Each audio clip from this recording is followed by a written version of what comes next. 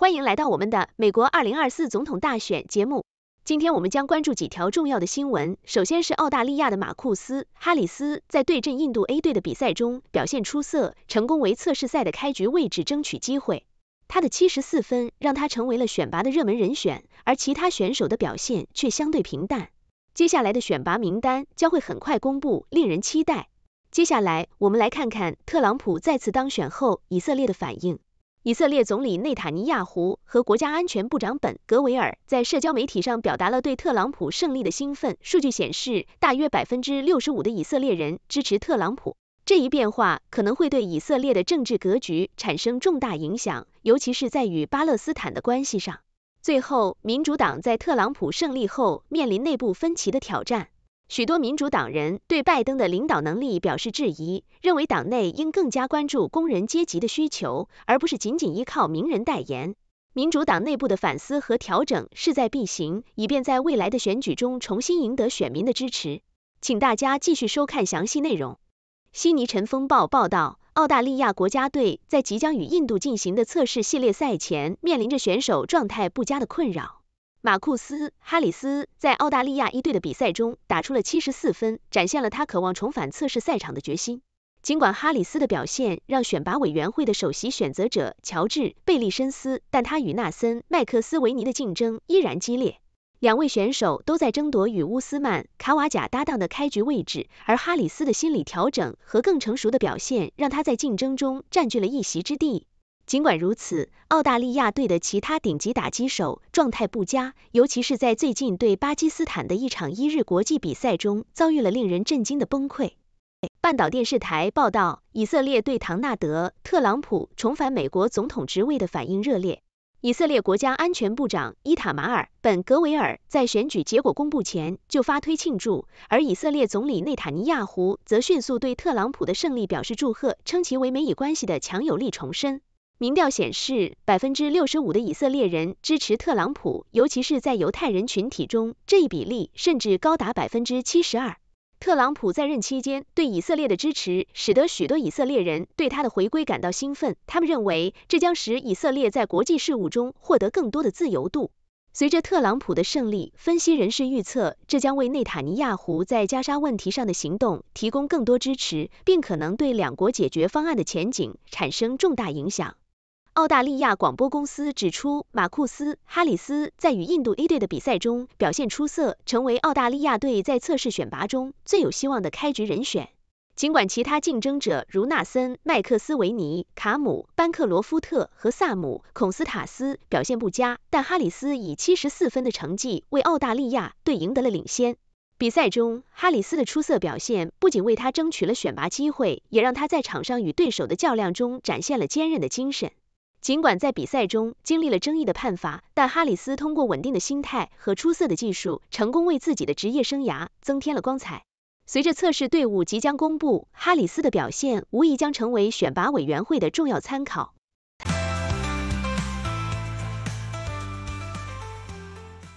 悉尼晨报报道了美国选举后对特朗普当选的反思与批评。许多评论者指出，尽管特朗普的支持者对他抱有希望，但他与亿万富翁的关系以及对工人阶级的忽视让人担忧。澳大利亚的领导人虽然承诺结束气候战争，但实际上却增加了化石燃料的补贴，显示出与美国在环境政策上的相似之处。选民的低投票率引发了对民主党的质疑，尤其是他们在经济问题上的表现，以及如何应对特朗普的崛起。德意志之声则分析了特朗普在中东政策上的可能走向。特朗普的回归受到以色列和埃及等美国盟友的欢迎，但对伊朗及其支持的武装团体则采取强硬立场。专家们认为，特朗普将继续推动亚伯拉罕协议，努力实现与沙特阿拉伯的关系正常化，同时也可能寻求与伊朗的谈判。尽管中东局势复杂，但特朗普的个性和他自认为的交易者身份可能会影响他在该地区的政策。南华早报则聚焦于民主党在选举失利后的自我反省，尤其是对副总统哈里斯的批评。许多民主党人认为，哈里斯在竞选期间的表现受到限制，而拜登的领导力则成为了众矢之的。虽然哈里斯在某些方面表现出色，但他在经济问题上的沟通不足，以及未能有效与拜登区分开来，导致了选民的流失。民主党内部的分歧加剧，许多人呼吁需要重新审视党内战略，以应对特朗普可能带来的挑战。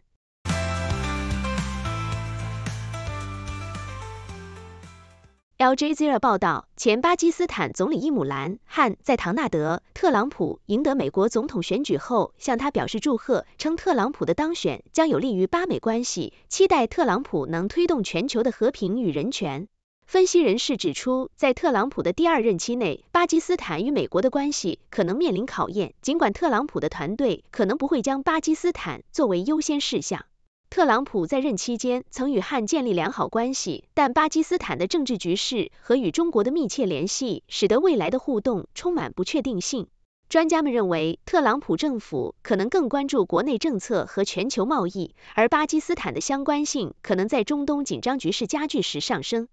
BBC 报道称，爱尔兰总理西蒙·哈里斯预计将请求总统米哈伊尔·蒂希金斯解散现任下议院，以便在三十天内举行大选。哈里斯表示希望选举日定在十一月二十九日，强调这是清晰的信息。爱尔兰当前的联合政府由芬格尔党、芬纳福党和绿党组成。面对持续的选举时间问题，哈里斯终于给出了明确的日期。自二零二零年二月以来，爱尔兰尚未举行过选举。当前反对党新费党在上届选举中表现出色，成为主要对手。南华早报报道，汇丰银行的新全球批发银行业务负责人表示，银行将在未来几周内进行大规模重组，并计划宣布首轮裁员。新任首席执行官乔治·埃尔赫德里上月宣布的重组，旨在简化银行业务，以应对投资者对汇丰未来发展的担忧。尽管裁员在所难免，但埃尔赫德里强调，此次重组更多是为了提高效率，而非仅仅削减成本。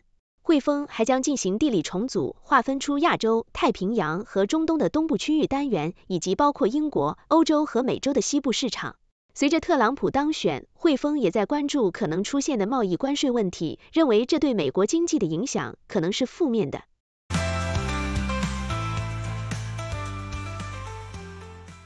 纽约时报报道，爱尔兰即将举行快闪大选，选民们将在本月前往投票站。爱尔兰总理西蒙·哈里斯于周五宣布将解散下议院，并定于十一月二十九日举行选举，结束了人们对选举时间的猜测。此次投票必须在现任联合政府的五年任期于二零二五年三月到期之前进行。在经过一段时间的挣扎后，哈里斯领导的中右翼政党芬盖尔在民调中重新获得支持，因此这一决定并不令人意外。自现代爱尔兰独立以来，几乎所有的政府都是由芬盖尔和菲纳费尔这两个中右翼政党主导。二零二零年二月的上次选举中，菲纳费尔赢得了最多的一席，但未能取得绝对多数。令人惊讶的是，左翼民族主义政党新费因的支持率激增，赢得了普选票，并在一席上位列第二，超越了当时由利奥·瓦拉德卡领导的执政党芬盖尔。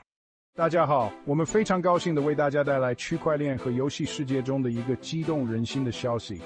六度链推出全新平台，将彻底改变我们与信息互动的方式。在这个游戏化的平台上，您可以评估内容、预测结果，并赢取奖励。想象一下，一个游戏让您的见解塑造信息价值，并为此获得奖励。敬请期待，这是一个您不想错过的社区驱动体验。游戏即将开始。谢谢您的收看。上面播报的内容是六度团队推荐的全球专业媒体、智库、政府机构和行业专家的最新报道、分析简报。更详细的内容，请大家去这些媒体、智库的网站阅读。这些内容并不一定反映六度简报的立场，亦不能作为任何决策的建议。六度团队由专业媒体人、学者、科学家组成的独立新型媒体，大家可以根据自己的专业要求订阅各种简报。网址是六度 brief 点 com，您在世界任何地方都可以通过电邮收到六度简报。and fun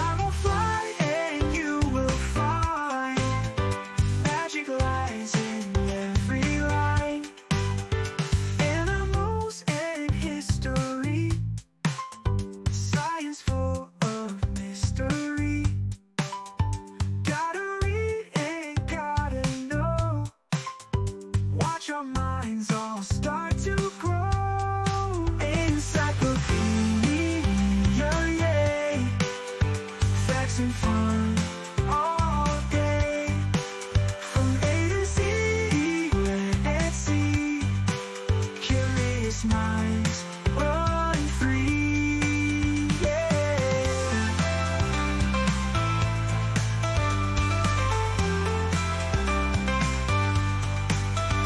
Jumping through the pages deep.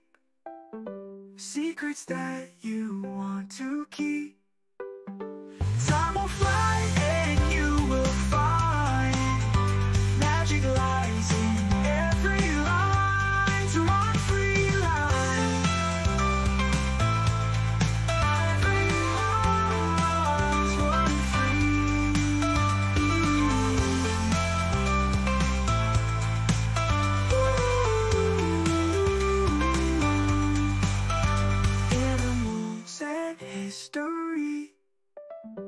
science full of mystery.